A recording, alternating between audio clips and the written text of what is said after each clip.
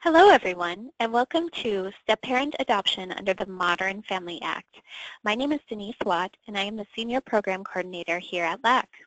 Today's session is presented by Betsy Lee of the Access Center at the San Francisco Superior Court and Ming Wong of the National Center for Lesbian Rights. Before we get started, we wanted to mention a few logistical notes.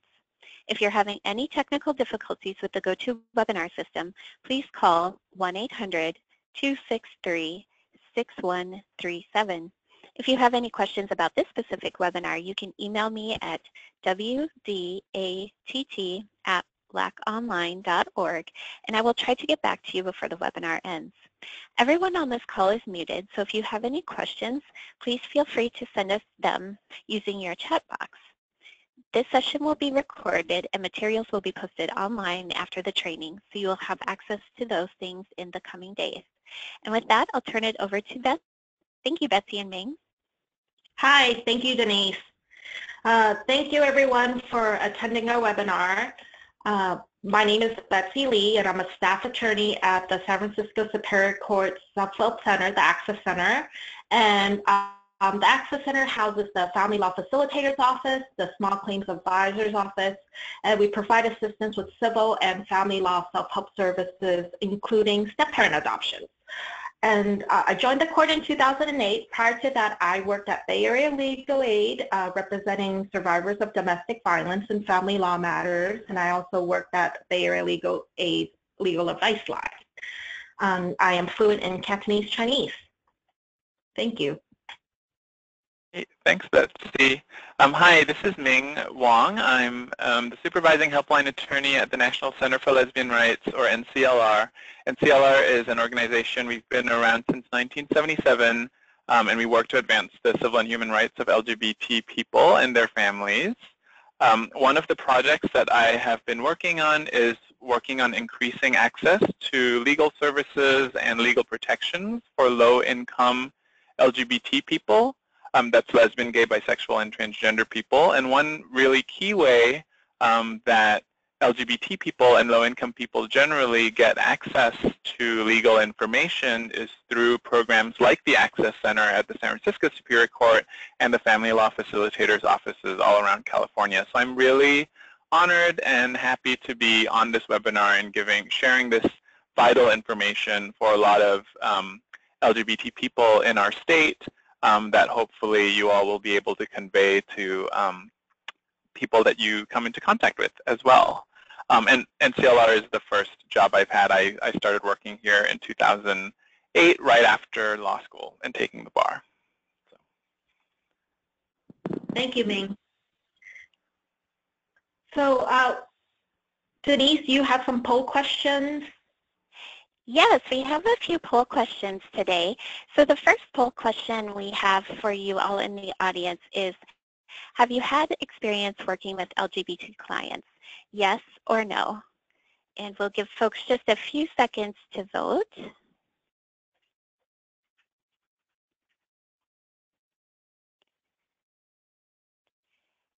And it looks like pretty much everyone has voted.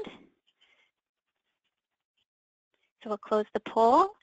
And 84% say yes and 16% say no. Our next poll question asks, have you had experience doing adoptions? Yes or no?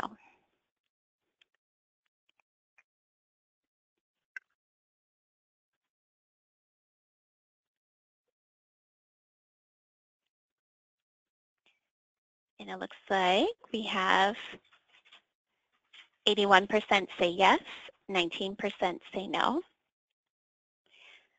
Our third poll question asks, how many years of experience have you had with family law?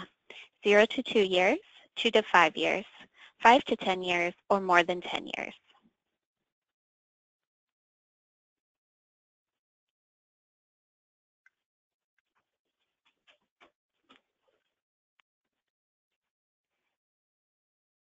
It looks like pretty much everyone has voted.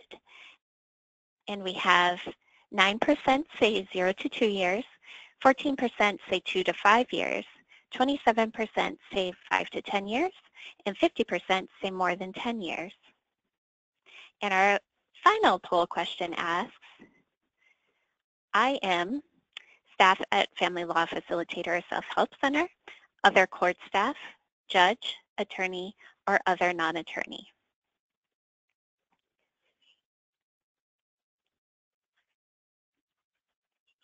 Great, 100% response rate. And we have 65% are staff at a family law facilitator or self-help center, 13% are other court staff, no judges, and no non-attorneys, 22% are attorneys. Great. Thanks, Denise. Um, well, it looks like we have an, um, an audience that actually has a fair amount of experience with family law, which is really great, um, and also a fair amount of experience working with LGBT clients. Um, so, uh, sorry, this is Ming. So I'm just going to go through a little bit of background about you know, the necessity for the Modern Family Act, and then I also included some a few slides about tips um, on working with LGBT clients. Um, but maybe I'll move through that pretty quickly since it sounds like we have a relatively experienced um, audience, and then that'll give Betsy a little more time to get into kind of the nitty-gritty of um, you know, how to actually assist people looking to do the new step-parent adoption procedures um, made available by the Modern Family Act. So um, I, I, first wanted to dispel a few myths about LGBT people and parenting, and I think the biggest myth nationally is that same-sex couples don't have children. And of course, the reality is that one in five same-sex couples are raising children together. And um, for same-sex couples who are married, this is actually, the number goes up to 31%. So that's a fairly high number. The um, couple in this photo is actually um, some clients of NCLR who have kids, and they're they're based in Florida, um, and we're helping them with a birth certificate issue. But we, I just thought they were a, a, lovely family and wanted to include them um, in this slide. So then the second myth, um, kind of a variant of that first myth, is that you know it's really only white um, lesbian, gay, or bisexual people who are trying to have or are um, having children or are parenting and the reality is actually almost kind of the opposite, that people of color in same-sex couples are more likely um, to be raising children. So in fact, 33% of those who identify as non-white and who are in a same-sex couple were raising children compared to only 18% of those who identified as white and in a same-sex couple. Um, the third myth, and again kind of a variant on those first two, is that um, lesbian, gay, and bisexual families are wealthy. Um, again, the truth is unfortunately very different from that, and same-sex couples raising children are actually more likely to be low income than different sex couples raising children. So households with same-sex couples raising children under 18 are twice as likely as households with different sex couples raising children to be earning less than $24,000 a year. Um, and you can also see from um, uh, the statistical charts down there that single LGBT adults are also um, uh, near the poverty line at a greater um, rate than married or partnered LGBT adults. And this presentation is going to focus on married same-sex couples or married um, couples. They don't have to be a same-sex couple to access the procedure. But um, I did want to also flag that to kind of highlight that this myth of the wealthy LGB parent is, is also completely false. Um, and then finally, I think there's a myth that um, few or no transgender people have children. Um, and of course, the reality again is very different. In fact, 38% of transgender people are parents. And in addition, um, maybe this, maybe this is like myth 4.5. The idea that people of color are less supportive of transgender people is also a myth. And in fact, um, polls have found that the families and the children of um, transgender parents of color are actually slightly more likely to be supportive of their transgender parent. And I've included links there if you need to um, look at the sources for any of these statistics. Um, but these can be, um, these sort of myths or dispelling these myths can be a good way to uh, make the case for why it's important to make sure that your office is welcoming to LGBT people and to LGBT parents in particular. So, um, and I wanted to touch on why adoption is still important, even though um, now there, you know, marriage is now available to all couples regardless of the relative genders of the two spouses. Um, and um, as many, it sounds like probably many people on this call know, there, is, there are these strong legal presumptions of parentage in California for a person who is married to or in a registered domestic partnership with a birth parent. Um, the reason why NCLR still thinks that adoption is very important for the non-birth parent and the non-biological parent is that other states, of course, may not have the same legal presumptions or their state laws are unclear on how those presumptions apply if a parent is not a biological parent. Um, getting an adoption, because that adoption is a court order, um, actually is the, pretty much the strongest protection a parent can get for the legal relationship between them and their child, and that adoption must be recognized in every state, even if that other state may not have, you know, made an adoption available or may not um, have recognized their parentage otherwise, because they have an adoption from California, um, they will be recognized as a legal parent everywhere else. So um, I also included a couple of slides just to give a bit of background about marriage in California. So same-sex couples have been able to marry in California since June 28, 2013, um, when a district court, um, sorry, the judgment of the U.S. District Court that struck down Proposition 8, which people may recall was the ballot measure in 2008 that um, banned marriage for same-sex couples.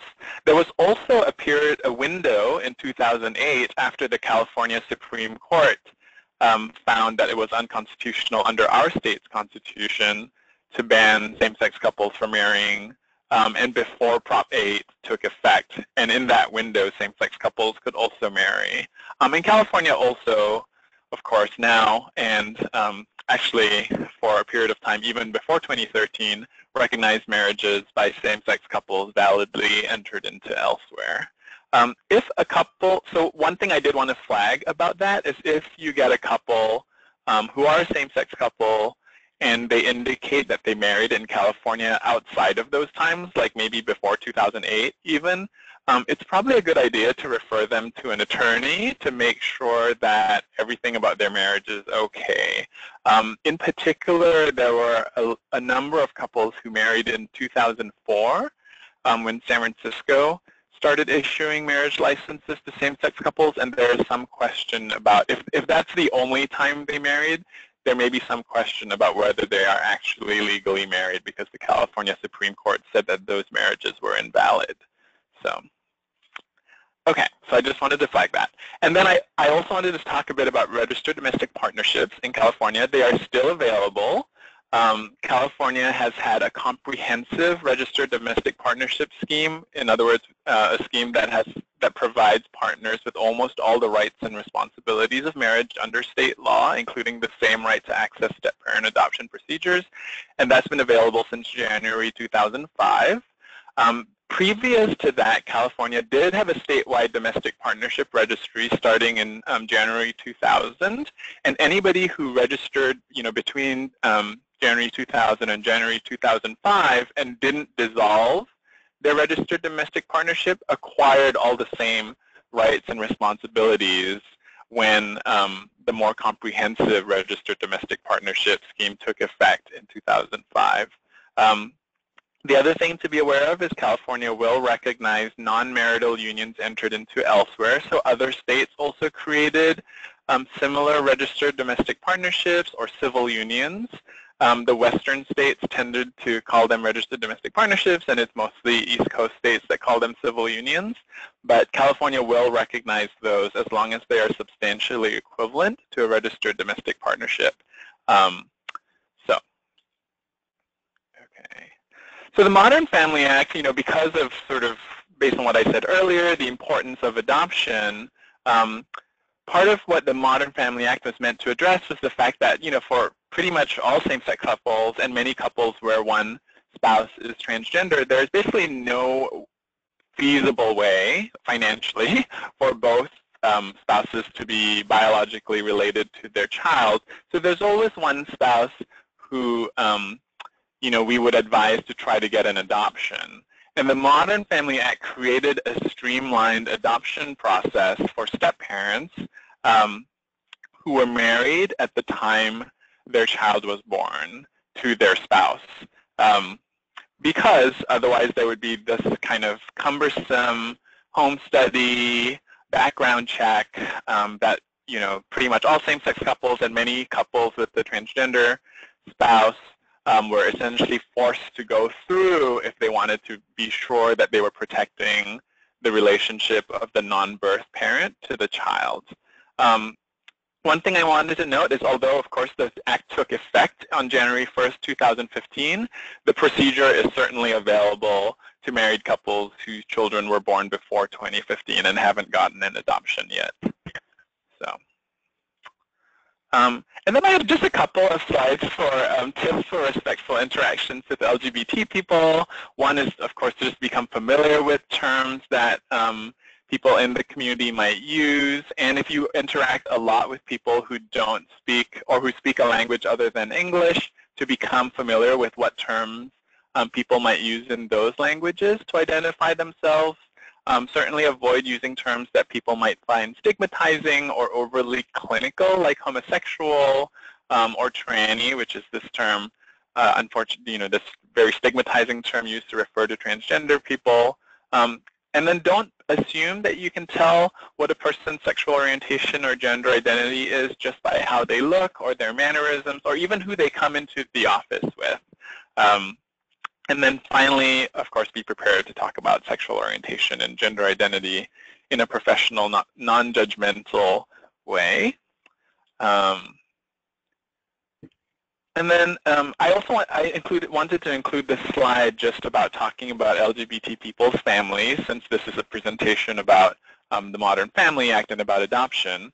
So the first thing is to just, um, you know, teach yourself and maybe talk to others in your office about maybe switching to using gender-neutral terms to refer to um, people's family members if you don't already know um, what gender their family member is. So saying spouse or partner instead of assuming that a person has a wife or a husband based on how they present to you. Um, and then also don't assume what family relationships exist until the person shares this information. So if you know a couple of people come in and they, you know you might assume that they're in a couple, don't assume that they're married or don't assume that they are actually a couple. You know maybe they're siblings or maybe they're just friends. And you know sometimes unmarried people want to raise a child together as well um, whatever the relationship between the two of them. Um, and then if you are asking questions about a person's um, relationship to their child, um, it's often useful to explain why you need to know that information.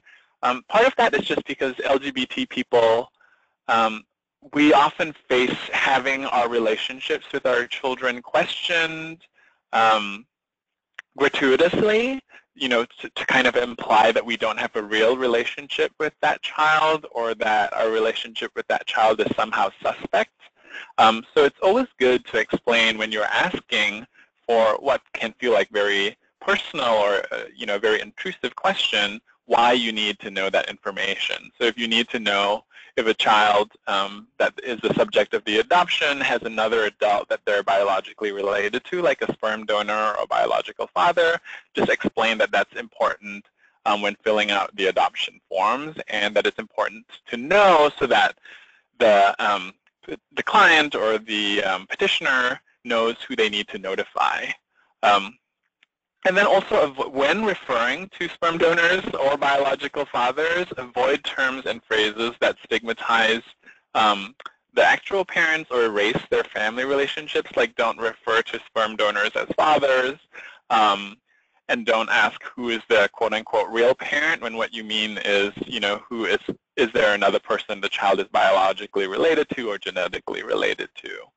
Um, and then again, along similar lines, it's important to explain why you might need to know about any other um, formal legal recognition that um, a petitioner has for their relationship. So you need to know whether they're legally married or whether they've actually registered as domestic partners with the state. Um, many LGBT people uh, refer, you know, use words for their relationships like spouse or husband or wife or partner, um, which may or may not correspond to the legal recognition for their relationship. So it's important to respect the way a person um, regards their own relationship, but of course, for the purposes of um, court filings, it's also important to know what the um, legal relationship between two people is, but it's important to explain why you're asking about that.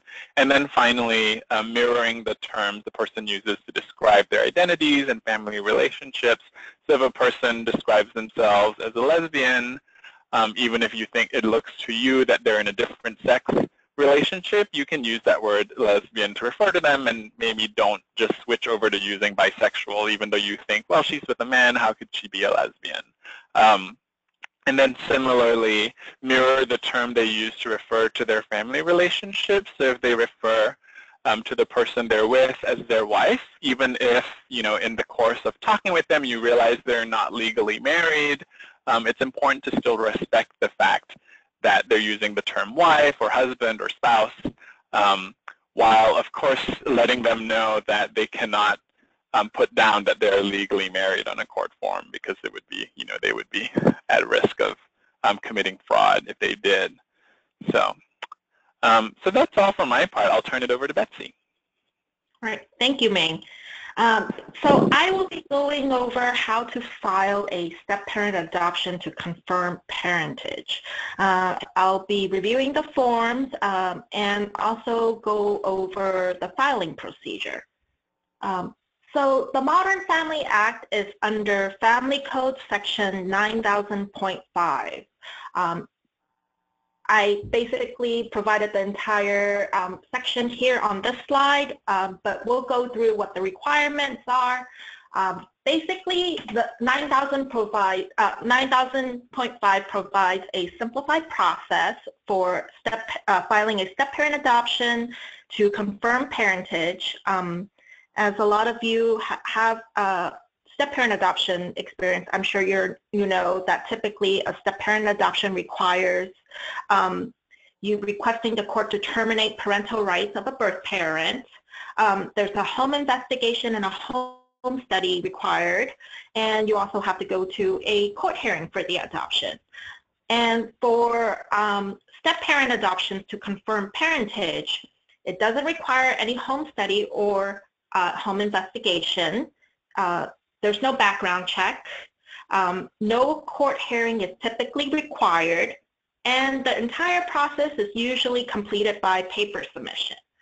So this is a big um, time and money saver. Um, in San Francisco, the Juvenile Probation Department usually conducts the home investigation, and it could take months to go through a background check and to complete the home study.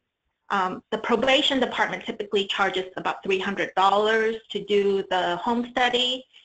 Uh, you can go through a private uh, adoption agency if you like, which may have a quicker turnaround time, but um, as far as I know, they charge upwards of 700 or more for the home investigation. And the other types of step-parent adoption um, cases that our center assists with typically takes around six months or so to get to the adoption hearing point. And that is provided that the applicant is diligent and complies with every step of the process. Um, it could take a much longer if there are other issues like service or there's, there may be issues with the background check. So um, Family Code Section 9000.5 really streamlined the step-parent adoption process for those who qualify. So um, I'm going to go over some of the requirements to qualify to file um, under um, Family Code Section 9000.5. Um, so these are the requirements you have to meet. Um, you must be married or in a registered domestic partnership, um, which also includes a domestic partnership or civil union um, in another state. And as Ming previously mentioned, make sure that it's a valid marriage or a valid domestic partnership. Um, the child must be born during the marriage or domestic partnership. Uh, you still must be in a registered or domestic partnership at the time of filing. And you also have to uh, provide notice or obtain consent from anyone with a claim to uh, parentage. Um, however, uh, notice is not required if the child is conceived by assisted reproduction in compliance with uh, Family Code Section 7613. Um, a lot of the cases that I've actually assisted with, um, um, most of the time the parents may be using an anonymous donor at a licensed sperm bank or through a licensed physician and they have the documentation to support that. Um, so under Family Code Section 7613, that donor is treated as a non-parent, so you would not have to obtain um, their consent or notify them. However, um, uh, even though Family Code Section 7613 um, says that a if you use a known donor and you use a licensed sperm bank or a licensed physician for the um, conception, you should still notify um, the donor um, and make sure you refer to them as a donor, not the father, um, that you will be um, filing a step-parent adoption and um, obtain their consent. Uh, if parents are not willing to notify um, the donor, they should probably consult an attorney. Um, the reason being, even though um, Family Code Section, um, I'm sorry, Family Code Section 9000.5 doesn't require a court hearing, the court can still order a hearing if they believe that there may be an issue of parentage. So it's better that you um, have all of this information up front so you know um, the applicants aren't blindsided and you know they thought that they didn't have to go to a court hearing and they might have to end up going to a hearing for the court to look into these issues. Um, so uh, just very briefly, uh, Family Code Section 7613 talks about the assisted reproduction um, process and whether or not a donor is treated as a parent or not. And uh, in order for you to be in compliance with Family Code 7613, um, if you're using an unknown donor and a licensed physician or a licensed sperm bank, um, there's no paternity um, under 7613. So the donor is not treated as a parent.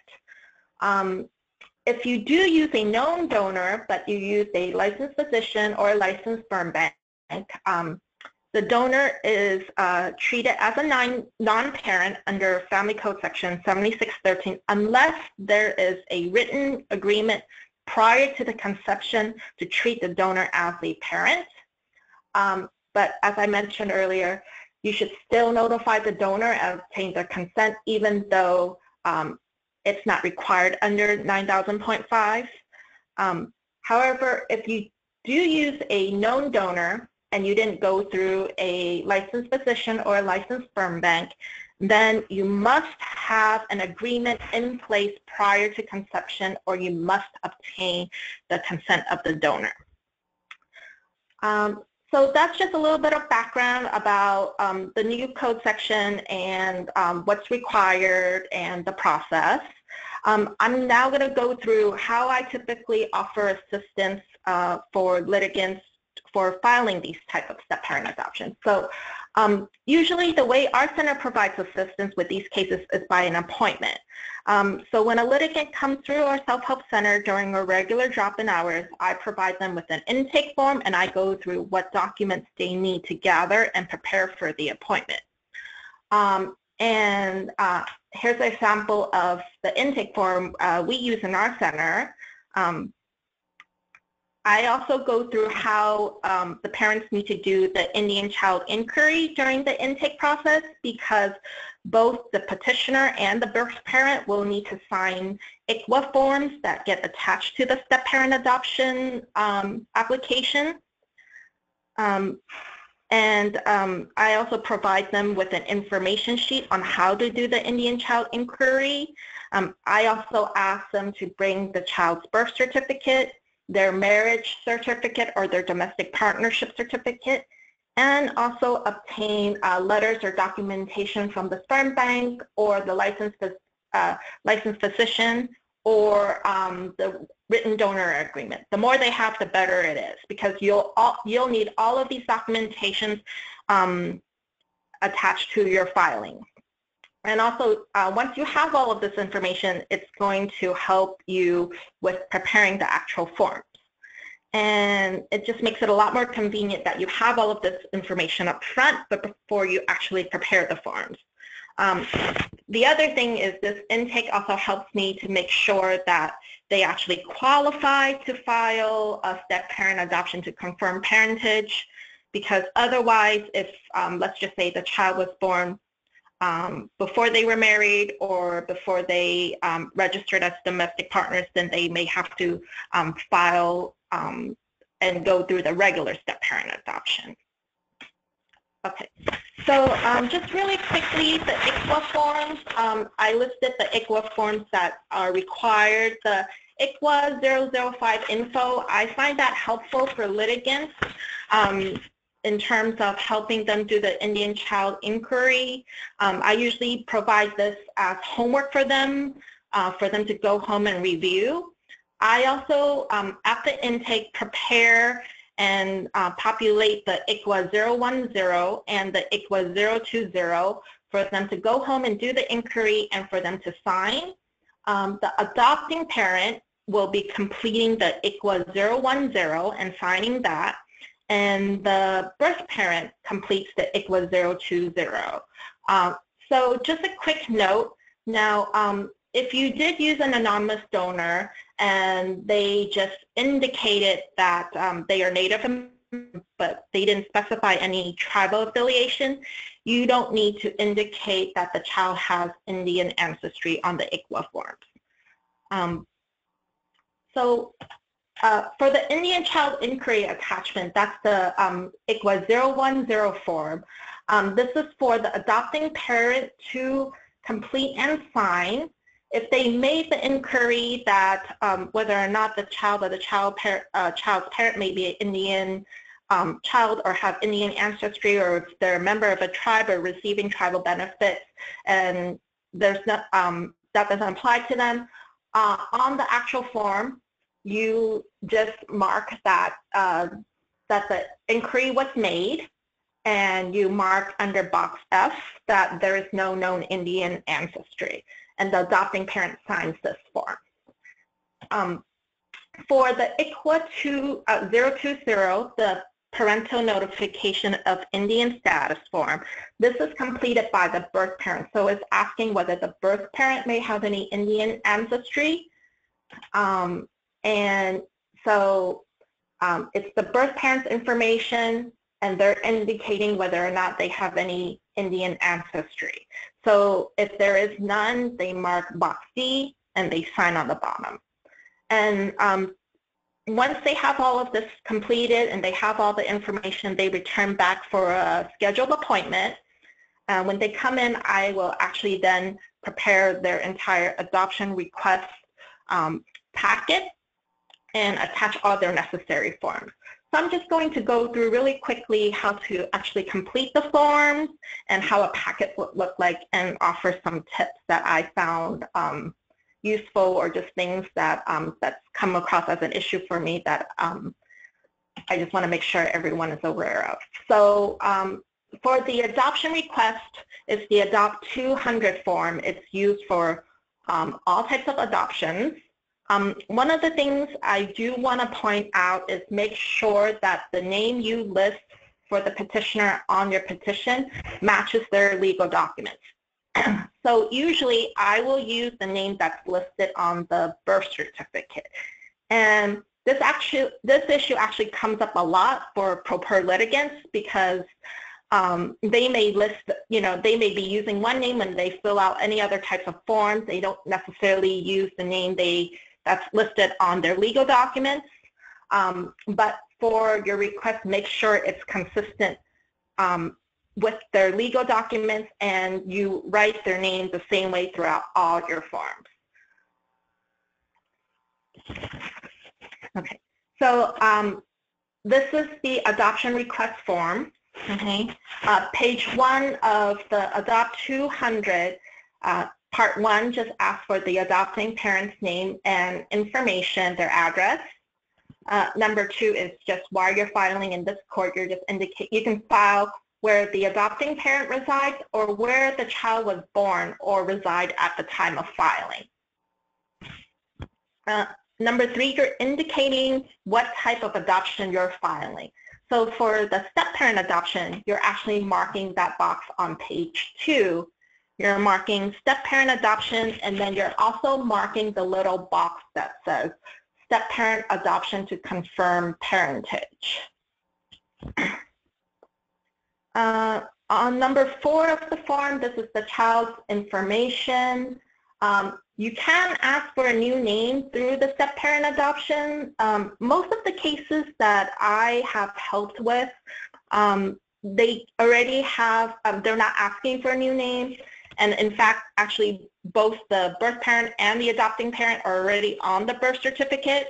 But as Ming mentioned um, earlier, that it's really important for um, um, LGBT parents to have this court order because not all states will recognize um, the birth certificate for parentage, so it's important that they actually have an adoption order that says that they are a parent. Um, so on page three of the adoption request, um, number 12 is very important. Uh, you want to make sure you are marking box C that says, I am seeking a step-parent adoption to confirm parentage.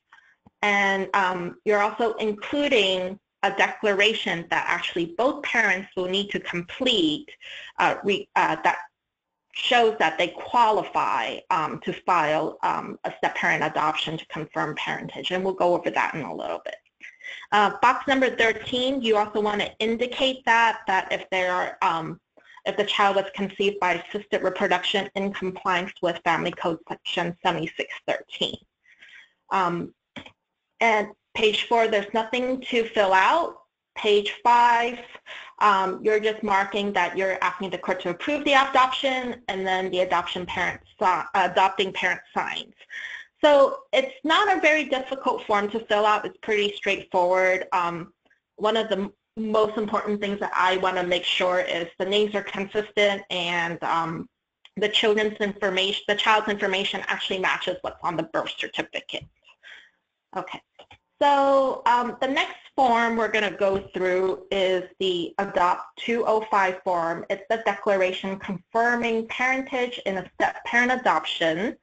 And again, both parents must complete their own Adopt 205 form.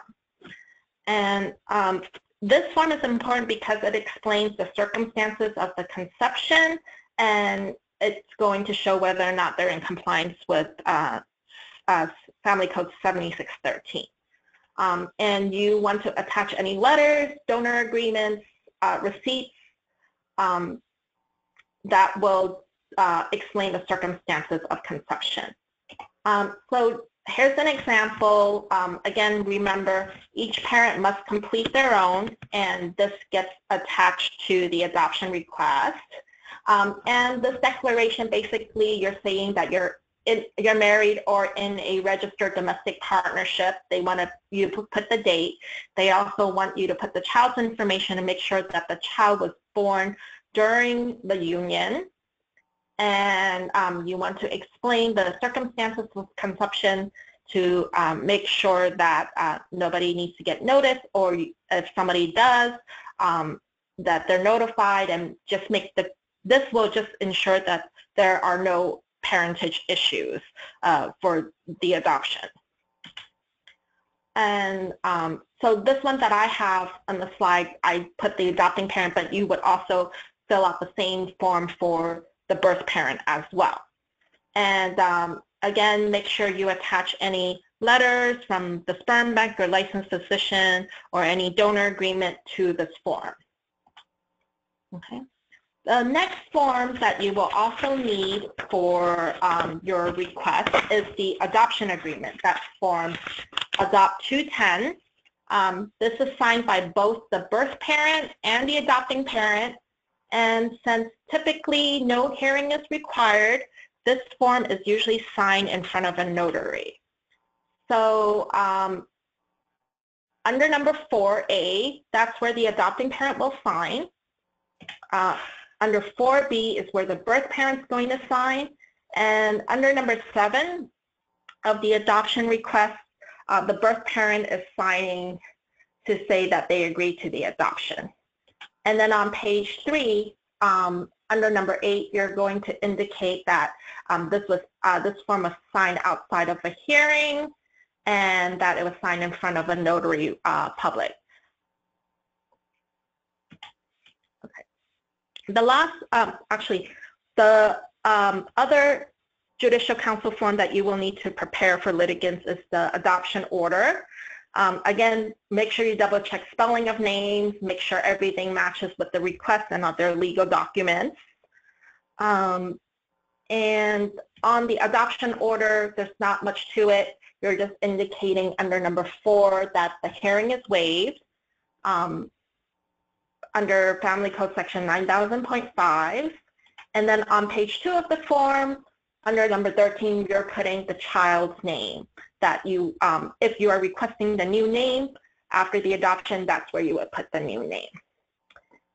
And the last form you will need to help litigants prepare is the VS-44, the court order of adoption. So this gets sent to Sacramento, uh, California Department of Public Health to record the adoption. And this form, it's not a judicial council form. Um, it just got revised January of this year, so I included the link where you could obtain a copy of this form. Um, for those who use Essential Forms, this form hasn't been revised on Essential Forms yet. Uh, so if you need a fillable copy of this form, you can email me and I can forward you a fillable version um, on PDF. Um, now, the important uh, keep in mind that this form is used for uh, the, the, California Department of Public Health to record the adoption. And um, it's very important that it has to be signed in black ink and completed in black ink. And the information you list on this form has to match the original birth certificate in order for um, the California Department of Public Health to accept it. So typically what I do is I make sure I, um, the litigant reviews this form side by side with the original birth certificate to make sure all the information is correct. Um, otherwise, if not, and if you are requesting a new birth certificate, um, they might not issue it or you might have some issues down the line. And um, let's see, just a couple of final notes um, for um, the step-parent adoption to confirm parentage process. Uh, I have a checklist that I use. Um, here's the checklist to make sure that I have every form that I need as a part of my filing. And this is a good way for me to just make sure that I'm not missing anything. And feel free to adopt this for your office if um, you find this helpful. Um, and as I mentioned earlier, no court hearing is required, so I make sure litigants provide a self-addressed stamped envelope for the court to send them back their adoption uh, order. And um, the filing fee for this process is $20, and they won't have to incur any additional fees since uh, no um, home investigation or home study is required. Um, you want to make sure you make two copies of all the forms you uh, need to file um, when you're uh, submitting it for to the clerks. And in San Francisco, the usual processing time for this takes about three to four weeks. Litigants should receive their orders back in about um, three to four weeks. So it's a pretty quick turnaround. Um, and just one final note, um, if you do have twins or there's multiple children you need to uh, uh, adopt, each child must have their own separate adoption request. So um, in the materials that I believe LAAC already sent you has a sample packet of what I usually submit with the checklist and the intake form and some helpful information as well. So feel free to use that as a sample. And um, that's it on my part. Uh, we're open for any questions right now. And we uh, and we've also provided our contact information if anybody has any questions or follow-up comments. Um, yeah, and I wanted to jump in and say, you know, if you do get any petitioners um, or people coming to you who do who you think do need to speak to an attorney, um, NCLR has a helpline. We're very happy to try to connect people with LGBT-friendly attorneys. We can often, not always, um, find people low-cost or pro bono attorneys, especially for adoptions. Um, where attorneys, family law attorneys, are a little more willing to take those on pro bono compared to contested um, family law actions. So definitely feel free to pass along NCLR's contact information to anybody that you think um, could benefit from some legal advice or help finding an attorney.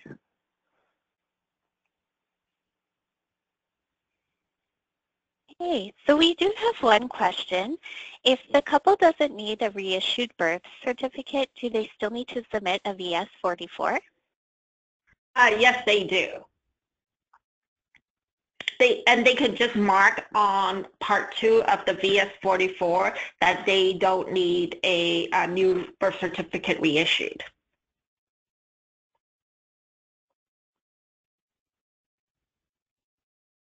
Okay, um, that is the only question we have at this time, but if folks do have questions, please um, enter those questions using your chat box on your control panel. Uh, Ming, I actually have a question for you. Sure. Um, and I wanted to ask you, so, um, you know, I understand that most states might not recognize um, uh, for example, if both parents are already on the birth certificate, why they might not recognize the non-birth parent as having um, uh, uh, parental rights. Mm-hmm. Can you explain why, um, or can you explain the pros and cons of filing a, an adoption to confirm parentage versus filing a paternity action? Sure. Well, I mean, I think one kind of practical advantage to doing a step-parent um, adoption to confirm parentage is that every state is very, you know, courts in every state are familiar with adoptions. And they may be a little less familiar with parentage actions or paternity actions when it's a same-sex couple filing them because in some states, paternity actions really mean an action to determine who is a biological parent, and that state's law is um, very focused on who is genetically related to the child. Um, so in some states, as a practical matter, it might be a little confusing if you show up and what you have is a paternity action and a judge is looking at it and thinking, well, how could you have prevailed on a, you know, how could you have been found to be a parent in a paternity action um, or a parentage action um, when you're clearly, you clearly cannot be um, a genetic parent to this child. Um, so I think that's sort of one practical reason to go for a um, step-parent adoption instead of a parentage judgment. Um, I mean, but you know, obviously it's a case-by-case um, assessment. For some people, it might make sense to get um, a parentage judgment and not a uh, not an adoption, and, and, they should obviously talk to an attorney to decide which one. I mean, one situation might be if they're a little uncomfortable um, with some, some people have an objection to um, characterizing what they're doing as an adoption because they feel like they're already, and correctly, feel that they're already a legal parent to the child, so why should they have to go through something called an adoption? Um, and it is true that legally, um, a parentage judgment and an adoption should be afforded the exact same recognition. They're both court judgments um, finding somebody to be a parent, and they do have to be recognized um, in all other states. But just as a practical matter, if a couple is able to get an adoption, that's often what we um, recommend. Thank so. you so much for that clarification. Yeah. But that's a great question, and, and actually something that we get asked a lot by couples trying to decide between the two um, options. Ming and Betsy, we have another question that just came in. How do you notice the sperm donor? Do you serve a copy of the adoption request and file proof of service? Draft a citation for freedom from parental custody and control? Um, you know, I don't believe that the code section requires formal notice. I think that um, if you submit a um, like a citation or a uh, uh, application for uh, to um, uh, to terminate the parental rights or um, uh, application to free the child for um, for adoption might be confusing for the court. I would put it in the um, declaration um, surrounding um, to confirm the parentage that I've notified the uh, the donor on this specific date that I will be filing a step-parent adoption. Um, and as previously, uh, we've never done an agreement to uh, uh, to for that donor to intend to be um, a parent, and I think that should be sufficient. Um, Ming, what do you think? Yeah, I think that's true. And you know, the the only reason, and I have to say, I, I, add, I we were the ones who sort of added that to that slide. It's just from an overabundance of caution, um, may, maybe from too many years of working in in many states where um, courts are very hostile to LGBT parents and seeing things like sperm donors showing up and claiming that because they were never properly noticed, they get to challenge um, a final adoption.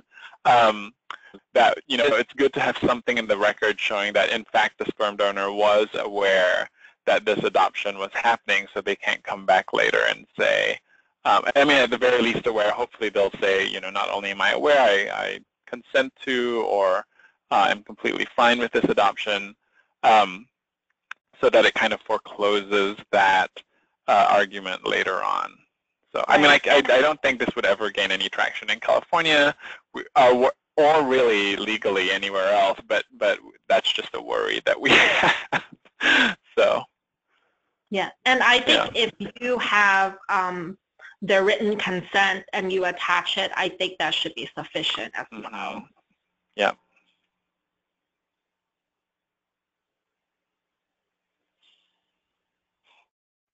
So we don't have any further questions at this time.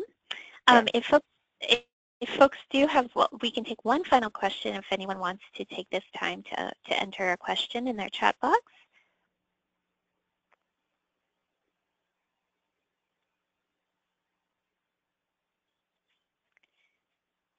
And seeing none, I will go ahead and thank you um, both Betsy and Ming for, to, for today's webinar, Step Parent Adoption under the Modern Family Act. Um, thank you so much for presenting today. We will Following this training, we will review um, in-session times for all participants and distribute both MCLE materials and a link to the recording in the coming days. We hope that you all join us for our next training, which is called Technology Access on Tuesday, um, April 5th, so this coming Tuesday. This webinar is part of the 2016 Disability Civil Rights Law series, and it will offer practical tips and resources for ensuring electronic document accessibility in our communications with courts, counsel, clients, and others. And this training is appropriate for all staff at legal services organizations to attend. To register, visit www.laaconline.org and select upcoming trainings. The Legal Aid Association of California, also known as LAAC, is the membership organization for IOLTA-funded nonprofits. Our job is to advocate on behalf of California's legal services community. In addition to our webinar programs, we hold in-person trainings throughout the year in California, and we would love to meet you in person. You can find more information about this and other trainings on our website at laaconline.org or by following us on Facebook. You can also email us at trainings at laaconline.org with any questions. And with that, thank you again, Ming and Betsy, and thank you all for your time this afternoon. We hope to see you at an upcoming training. Thank you, Denise. Denise. Yeah, and thanks, uh, thanks everybody for attending. Thank you.